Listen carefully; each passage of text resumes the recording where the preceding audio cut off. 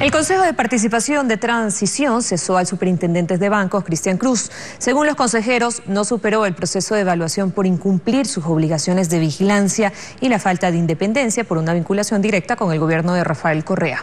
Paul Romero tiene la información no garantizó la estabilidad, transparencia y solidez de los organismos financieros que se encontraban bajo su control, lo cual causó grave inestabilidad económica dentro de las instituciones públicas. Es una de las conclusiones determinantes que consideró el Consejo de Participación Ciudadana de Transición para cesar al superintendente de bancos Cristian Cruz por unanimidad.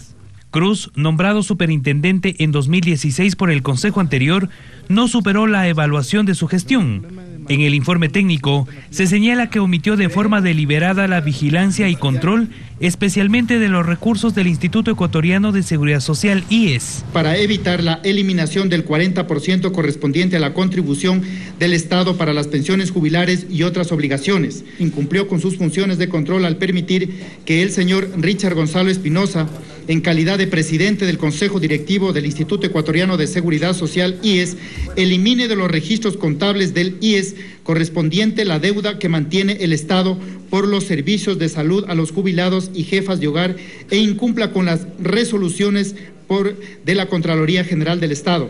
Para el consejero Luis Macas, Cruz permitió un manejo discrecional de los recursos de la seguridad social. El IES, por ejemplo, yo creo que está en este momento eh, en una crisis seria. Además, para el Consejo de Transición, Cruz no cumplió con la garantía de independencia y probidad. Tenía estrechas relaciones con el Ejecutivo, pues previamente había ejercido cargos dentro del Ministerio Coordinador de la Política Económica, Ministerio de Agricultura y la Secretaría Nacional de Ciencia y Tecnología, entre otras dependencias del Ejecutivo. El superintendente cesado tiene tres días para impugnar la resolución. Si se la ratifica, su reemplazo saldrá de una terna que deberá remitir el Ejecutivo al Consejo Transitorio.